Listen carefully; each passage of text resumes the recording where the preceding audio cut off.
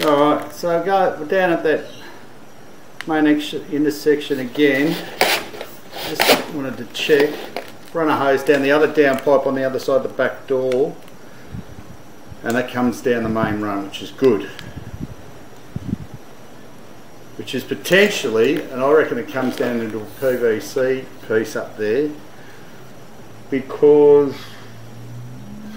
this piece was blocked. Junction. You can see up there the tree roots. So that's our problem spot. But everything's flowing.